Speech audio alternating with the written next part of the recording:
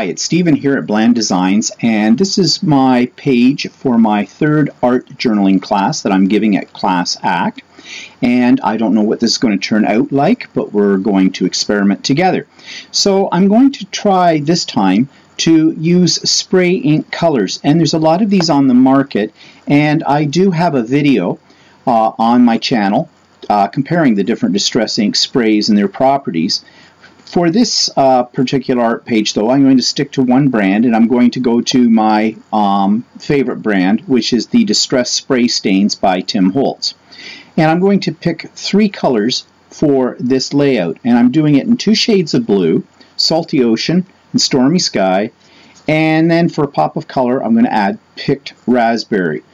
I wouldn't use any more than three colors on this. Two or three are good, and probably colors that are uh, analogous would be best ones to use for this because you are mixing colors and if you use complementary colors you're going to get brown. So I've already coated my pages with gesso and I used a palette knife uh, for this as opposed to a paintbrush only because I saw this used on a uh, YouTube video or done this way and it looked like it's a little faster and you get a thinner coat and it dries faster. So I've already done that. I've applied my gesso and it's already dry and so I'm going to give it a little bit of a background spray with these color uh, inks. So I'm going to start with Stormy Sky and you should shake these up a little bit. And really when you're using sprays you can't control where they're going to go so just spray. A little there, a little there, a little there. And I'm going to go with the salty ocean next.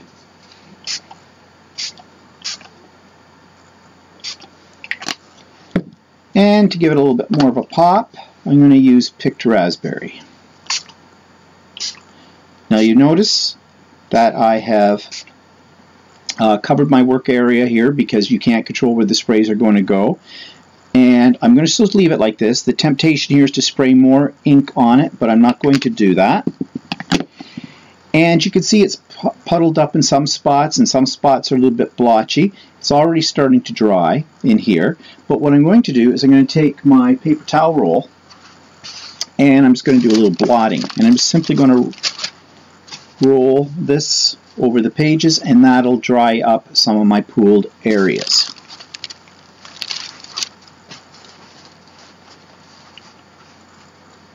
Now I am going to heat this with my uh, hit this with my heat gun because these are water soluble inks as you know and even though they're dry on the page they will reactivate once they get uh, more moisture on top of them. For example more spray. But if you dry them hit them with your heat gun they still don't become permanent but they don't run quite as much And you can see this is pretty much dry right now. Also, you don't have to put the gesso down when you're using the color sprays, but I do it because it keeps the sprays more on top of the page. They don't absorb into the paper as much and gives you a little bit more brilliant color. Okay, that should be good enough. Okay, so for the next stage of this, I'm going to grab a stencil.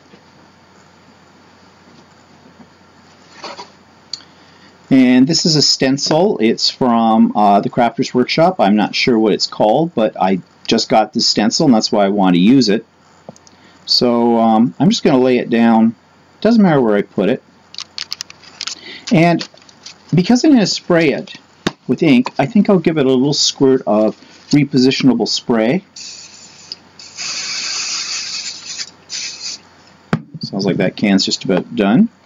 Uh, because since I'm using very fluid colors, I don't want them to run too much under the stencil. And I'm going to change the color. I'm going to use uh, carved pumpkin this time. Now, one tip about spraying. The higher, oh, the further away, that's the word I want, the further away you are from a page when you spray, the more misting you get. If you want, uh, and give it full pumps, if you give it half pumps, it's going to do more of the blotchy splattery effect.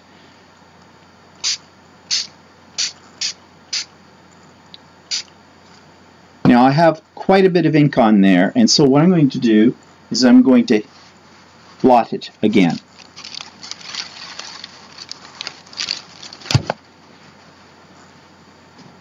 And just pull up my stencil carefully. And I've got that effect. And I think what I'm going to do is I'm going to go all over my spray. My I think I better give it another little hit with um, some more repositionable spray. That last can I used was an old can and yeah, that's given me a little bit more.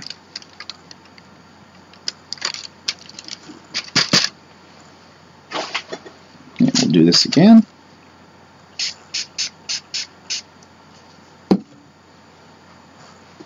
Let's blot it.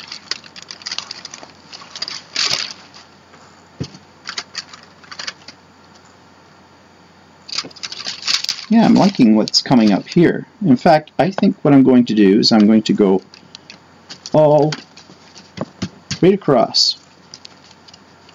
Now usually when I'm using stencils I don't go all the way across, I, I kind of do them here and there, but I'm liking this patterning that's happening.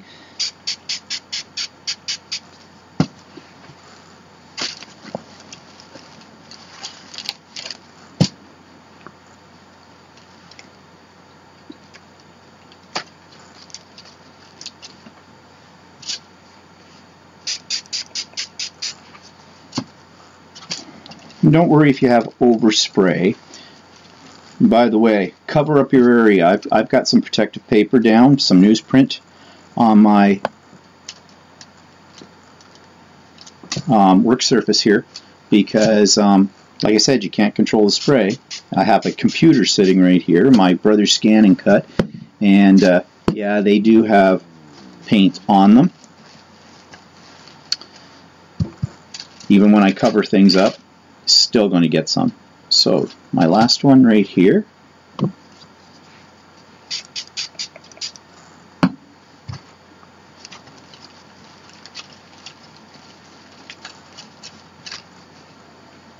Okay.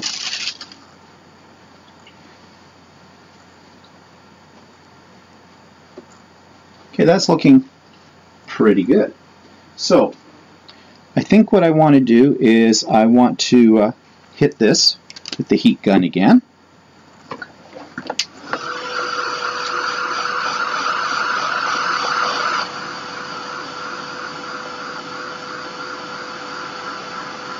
I'm working with a fairly bright palette of colors this time. Now you see in here I got some pooling because that's where the, the seam is in the book, the spine. So I'm just going to give it a little bit of a sop up here. That's okay. Remember, we're creating layers here, and a lot of this is going to get covered up, so it really doesn't matter at this stage. I do like the, the texture, though, that's happening with this as well.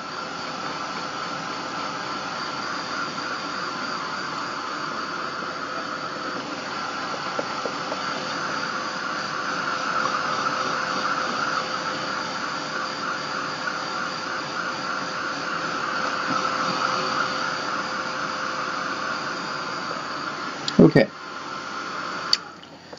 I think I'm dry.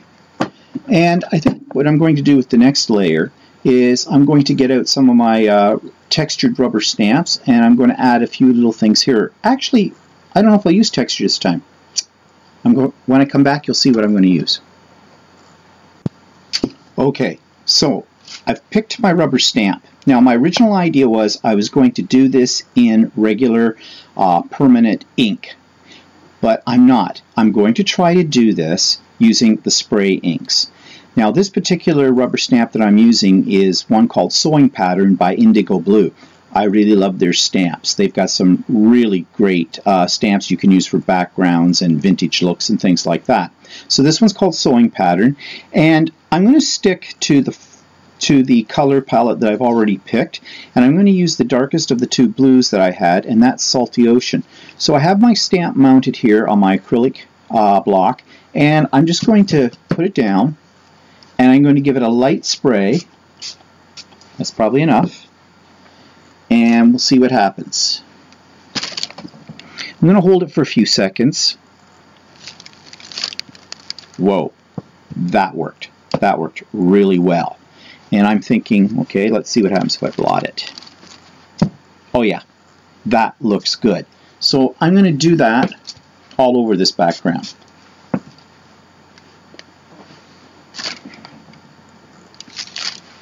And I'm just picking random spots.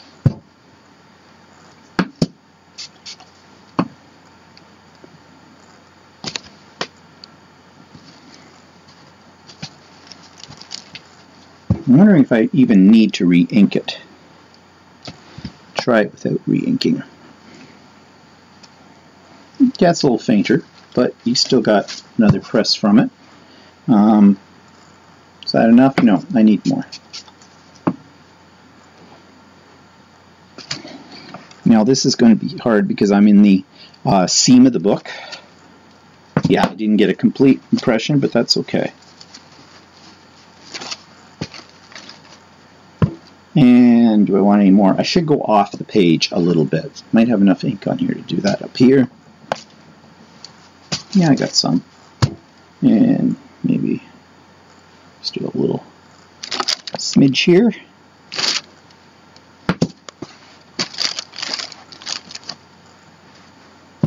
Okay, I'm really liking that. That worked out really well. Now, clean up should be easy just a baby wipe. It's water soluble, so shouldn't be a problem.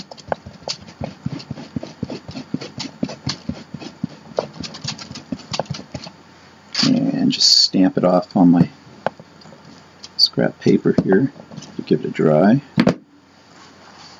Take some paper towel.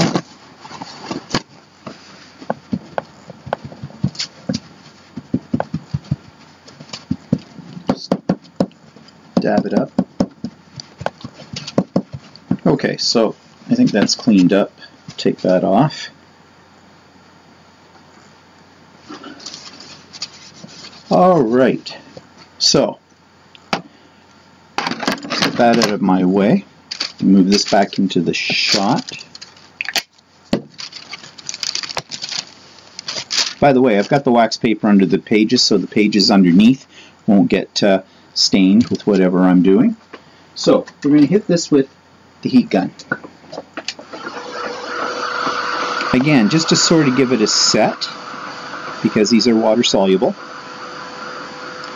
I'm actually though pretty impressed with the uh, lack of running that has happened on here.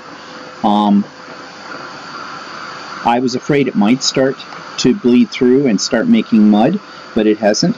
Now there's a way to get around that. If you're really afraid of that happening, there's a, a spray you can buy. It's called Workable, Fix Workable Fixative. And you just give a light spray of that on top of the layer. Let it dry. It takes only 5-10 minutes to dry and you can hit it with a heat gun. And that will protect whatever's underneath it. So if you're putting more um, wet material on top of stuff that will be reactivated like a stress stain with um, moisture, then that will protect it. Okay, Um, the next thing I want to try to do is maybe add some drips to this. And I might go to a different color. I'm thinking maybe I'll go to black. And I'm going to do that with the spray as well. So I've got to find my black here and I'll be back in just a for this next uh, technique with spray uh, ink, I'm going to spray the pages with some workable fixative. This is what workable fixative looks like fact, you could use hairspray, but I'm not so sure I want hairspray. Now, the only problem with using this kind of stuff is that it is very high odor. But um, spray it away from yourself. You only need a light coat. The reason I'm going to use this is because off camera I was experimenting a little bit with uh, making uh, uh, the, the spray inks run and I found it was kind of reactivating the layers below so I don't want the areas below being reactivated. So I'm going to use this and see if it makes a difference. So just to show you how this works, you just spray it on your page, and that's all you need, and then let it dry. Now you can hit it with a heat gun if you wish.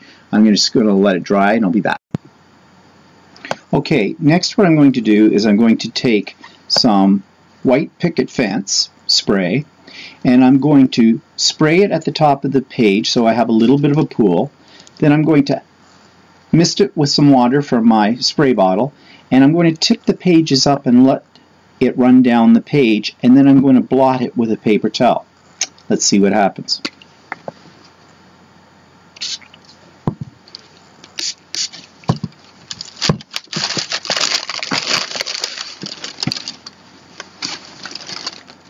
This is hard to hold and get it in the camera shot at the same time here. Hope you can see this. And I'm just going to add a little bit more water to let it run. And I'm just letting it run to the bottom of the page.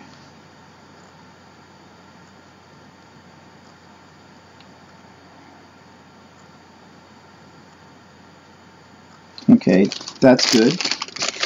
And now I'm going to blot it with a paper towel.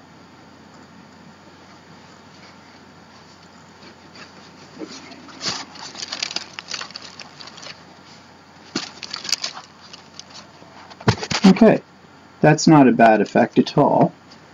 And I'm sorry, it looks like I'm doing this early in the morning and I'm getting sunlight across my page right in here.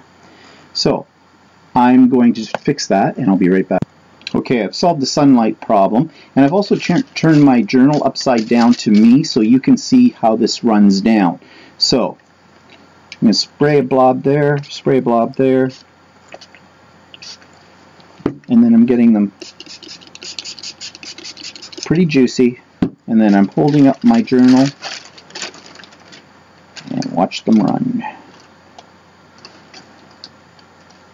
And I'm kind of tilting my book back and forth to get the effect that I want. And then I'm just going to blot it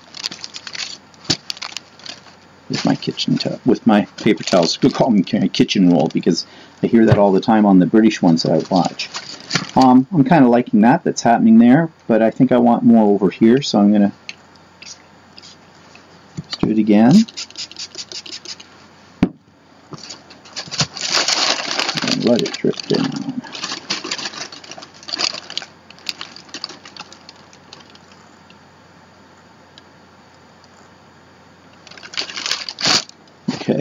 Okay, that up.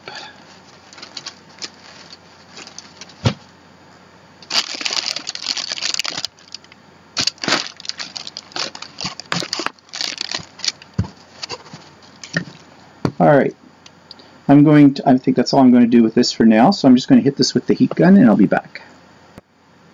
I've decided that my background is done, and so what I'm going to do next is collage.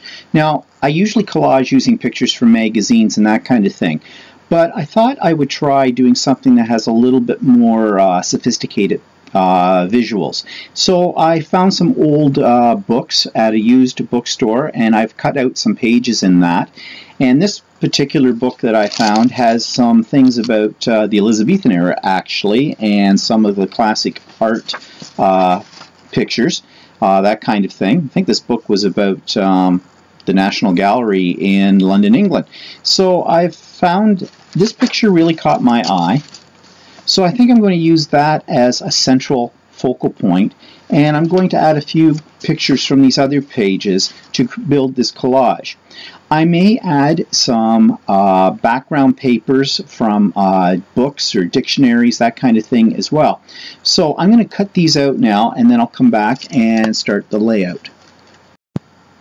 So I cut out my images and I've sort of laid them out on where I think I want to put them on the page. And I also tore out a couple of dictionary pages, which I think I'm going to lay down underneath uh, on each side of these. So right now, those pieces would be lifted up and they'll be here and these will overlap it and I think I'm going to have to do something with the color of these as well so I'm thinking of taking uh, a little bit of uh, walnut stain and uh, walnut distress stain. Um, I could use the spray on this. Um, maybe that's what I'll do. Maybe I'll use some spray on it and just blot it to give it sort of an aged look. I'll come back. So I took my two dictionary pages and I sprayed them with um, a dark brown with walnut stain and actually I didn't like the way that turned out. I thought it was a little dark. So then I went to a slightly lighter color and I went to gathered twigs and I sprayed the pages with that and I like that a little better. Also you notice I got some of these little blotches which I told you before you can't control your spray stains or spray inks very well. So those little blots aren't going to bother me. That gives it sort of an aged look. But I want to add more to it. And what I've done on this one is I've gone around the edges with uh, the same color in the Distress ink pad gathered uh, twigs uh, just to, to make the edges that were ripped a little darker. And I'll show you how I did that. I did that with this. I just got really inky with my ink applicator.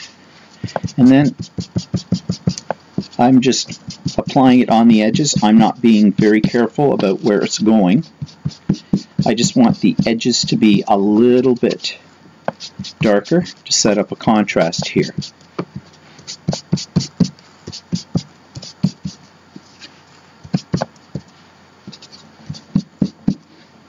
Okay, I think I'm done that. So now I can lay this back out, glue these down to my uh, pages, and I'm going to use matte gel medium for this.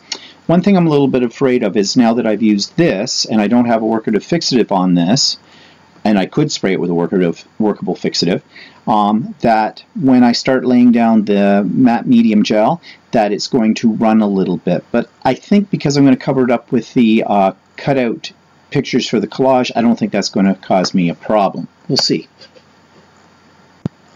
Okay, so now I'm going to stick down my dictionary pages, and I'm using just regular uh, gel matte medium and a brush.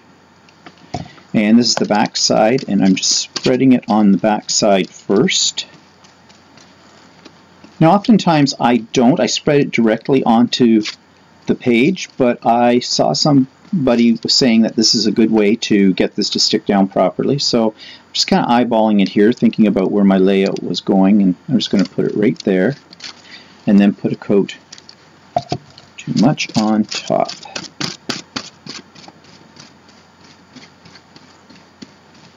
Now this is another reason why the workable fixative is a good idea when you're using water-soluble material or medium for your background uh, setup because if I hadn't used that I would reactivate the colors underneath and they would start to run but as you can see they aren't running now. Now I'm getting a little bit of a run from the Distress ink pad that I used and that's okay.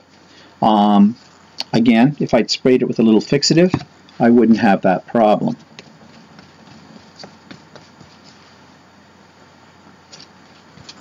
If your pages curl up a little bit when you're doing this or when you lay it down and you get some wrinkles in it, you can sort of try to smooth the wrinkles out with your paintbrush, but that's really not much of a problem. It adds a little texture.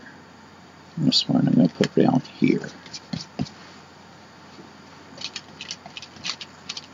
Also, I'm being a very bad boy at the moment. Um, if I don't want to contaminate my matte gel, I'm afraid I'm going to contaminate it because there's going to be some color on my brush, um, I should have spread a little bit out on my non-stick craft sheet and that would avoid that problem, but I'm living dangerously here. Okay, I've got that layer down. Alright, so I'm going to start gluing down my collage pieces and I'll be back to show you the result. So all my collage pieces are now glued down with the uh, regular matte medium and it's all dry. I went over it with the heat gun a little bit and it's dry enough to work with right now. Um, but now I'm adding a title to this and I don't like my own handwriting and I have been trying to do hand lettering and to improve that but I've not been having a lot of success. I need a lot more practice. So what I've done is I bought some letter stenciling stencils. Um, sheets of them. These are the kind of thing that actually aren't purposed for art journaling. They're actually purposed for doing a wall design or signs and that kind of thing. And I found this one set that's sort of a script. Hard to show it here. And I drew out my title along here, along this space. And then I joined up some of the letters to make them look less like a stencil and more like hand lettering. And I did that all with a pencil. Now I'm filling them in with some black soot distress ink. So you can paint with this as well. And to do so, I just sprayed a little bit here on my piece of wax paper, or it could be your non-stick craft mat. And I'm using a fine detail brush. You can see how fine that is. And I'm just dipping it into the paint, or into the stain, full strength, and I'm just coloring in my stenciled letters. And I'm not being all that careful about staying inside the lines. I mean, I'm trying to get the general shape here.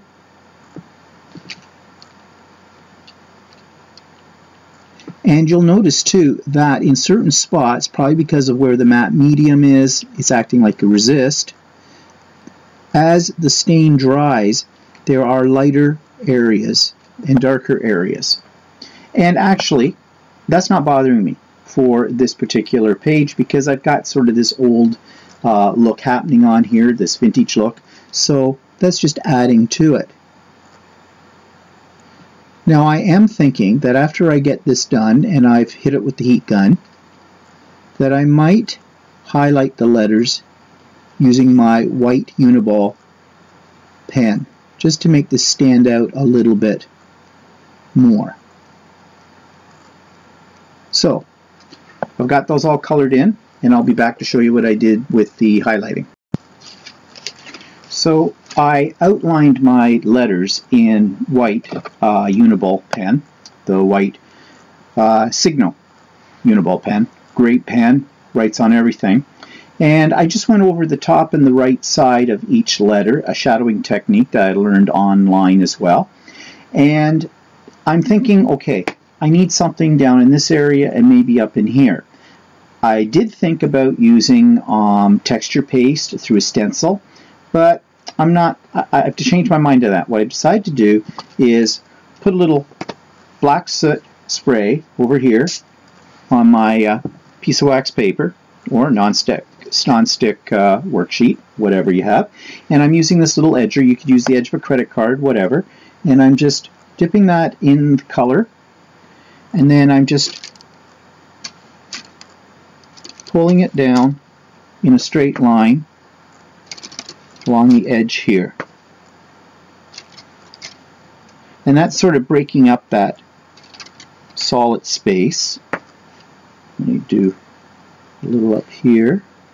Already went across the page. I went this way, uh, off camera. I'll just add a few more like that. So all I'm doing is I'm just dipping the edge of this, sort of making very large cross hatches in these areas. Oops.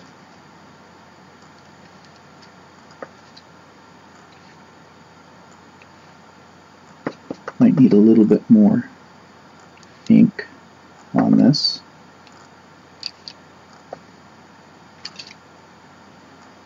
Just like that. And that's sort of breaking up the, those spaces. Now I'm thinking that I need to highlight those with maybe another color. I'm thinking white, but white's a very unpredictable color in the sprays, I find. It kind of you know, when we did that uh, puddling with the white before, it kind of got blended right into the background. And speaking of which, yeah, you really can't see where we dripped it down, but we know it's there. But it did give us some a little bit of a, a faint foggy effect near the top of the page, which is okay as well. I'll just move this up a bit. Things are getting a little piled high here on my work area. Okay, so do I want to use the white or could I go to one of the other colors that I've already used? Um, maybe I'll try it with a little bit of the carved pumpkin, the dark yellow, because that's in the background. And I'm just going to spritz a little here. And I clean off my edge of the black and let's see what happens. So that up here and just alongside where I've already put some marks. Well, this might work okay. I'm just trying, kind of making it parallel my other marks.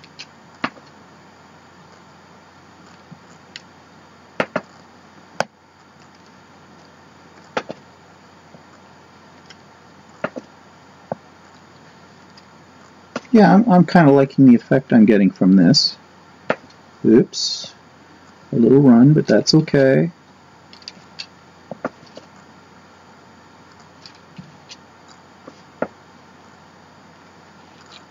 Also find with the distress sprays, they're not all exactly the same consistency. Some are a little bit runnier, right from the bottle, than uh, others. I guess that's just whatever happens with the, the type of pigment that they use to mix these up. Oops, ran those two together, but not a problem. Should put maybe some cross pieces in along here too.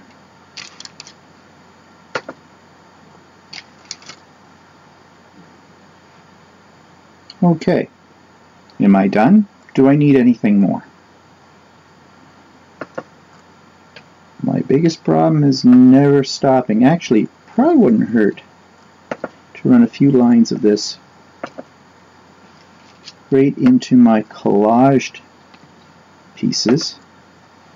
Kind of ties it together with the background. Oops, didn't do that one so well. Kind of gives it an aged look as well.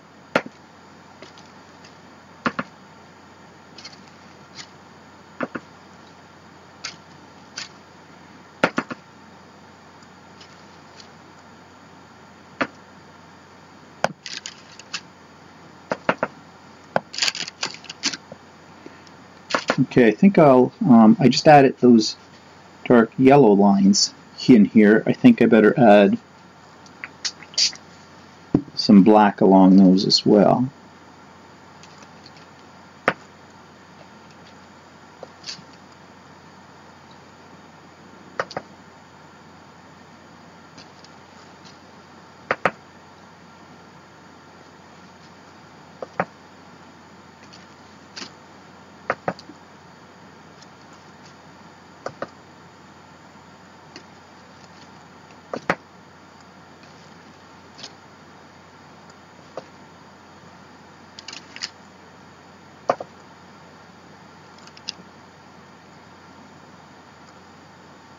Okay. I am going to call this done. So what I'm going to do now is I'm going to hit it with my uh, heat gun, give it a good dry, and then I'll come back and give you some close-ups of different parts of it. So here's the final uh, uh, layout all done. Um, I added, I, I just can't stop. I have this real problem. I can't stop once I get going. But I took my white Uniball pen and I scribbled all the way around the outline here of these just to make that stand out a little bit more. And I added, which is hard to probably tell in this light, but on her crown, bring it up close, I don't know if we can get that, I add, there's a little bit of shine there, I add a little Wink of Stella. I mean, after all, a queen needs a sparkly crown, doesn't she? So, I am done with this page. I think it turned out pretty good. And what I'm going to do uh, now is I'm just going to give it a light spray with um, a low order, a low odor clear gloss uh, finishing spray just to seal it. And that'll keep my pages from sticking together in the uh, journal when I close it up. And I would recommend that you let this dry uh, overnight after you've put this on, um, just to make sure everything has a good dry time because there's nothing worse than opening up your uh, art journal and pulling the pages apart and ripping them because they all stuck together. So I hope you enjoyed this and stay tuned for future uh, classes in art journaling.